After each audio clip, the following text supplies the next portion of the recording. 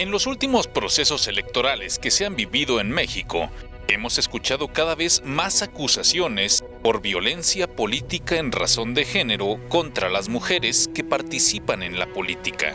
La violencia política en razón de género ha sido tantas veces denunciada que pareciera que ya se ha convertido en una suerte de arma que blanden las mujeres políticas en contra de todo aquel que se les interponga en el camino. Se ha sabido de muchos casos en los que la denuncia es infundada o fuera de lugar, como en los casos en que conductores de programas de televisión y radio, como José Ramón San Cristóbal El Estaca, fueron acusados de cometer actos de este tipo, denuncias que terminaron desechadas.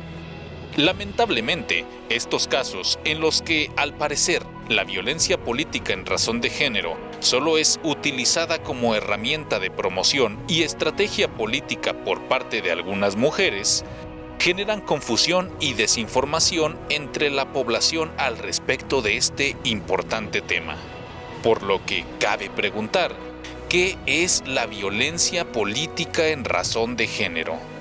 La violencia política en razón de género está contemplada en la Ley General de Acceso a las Mujeres a una vida libre de violencia, la cual fue publicada en el año 2007 y tuvo sus últimas modificaciones en marzo del año 2020.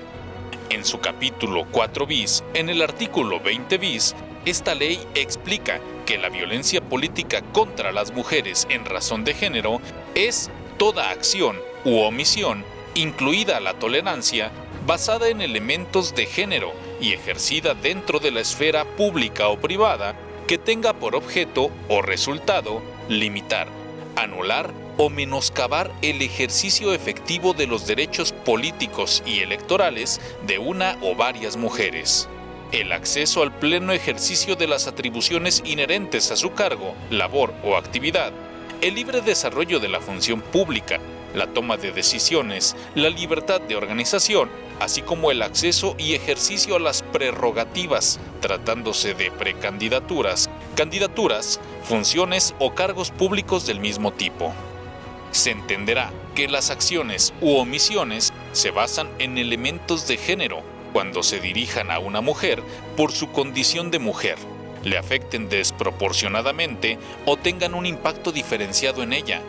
Puede manifestarse en cualquiera de los tipos de violencia reconocidos en esta ley y puede ser perpetrada indistintamente por agentes estatales, por superiores jerárquicos, colegas de trabajo, personas dirigentes de partidos políticos, militantes, simpatizantes, precandidatas, precandidatos, candidatas o candidatos postulados por los partidos políticos o representantes de los mismos, medios de comunicación y sus integrantes, por un particular o por un grupo de personas particulares.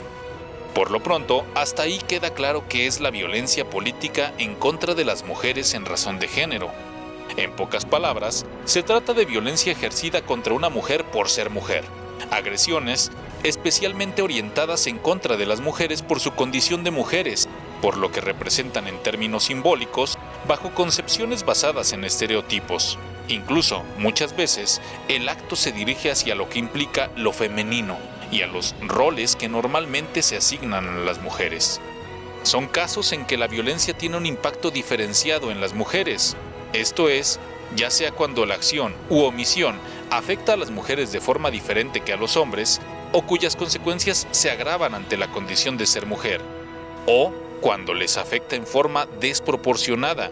Este último elemento se hace cargo de aquellos hechos que afectan a las mujeres en mayor proporción que a los hombres. Pero ahora resta saber en qué casos aplica y en qué casos no, cuándo se trata de una denuncia auténtica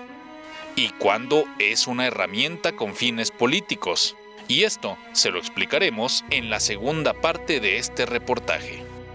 Para el sistema de noticias de TV Libertad con imágenes de Diego García, Héctor Almaguer.